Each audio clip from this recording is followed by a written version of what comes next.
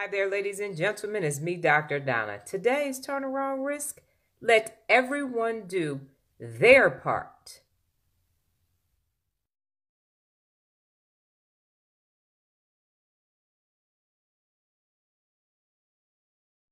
Business 101.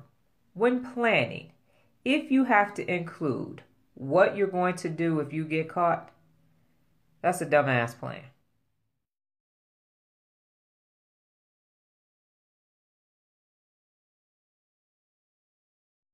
Lose. The losers. Got it? Good.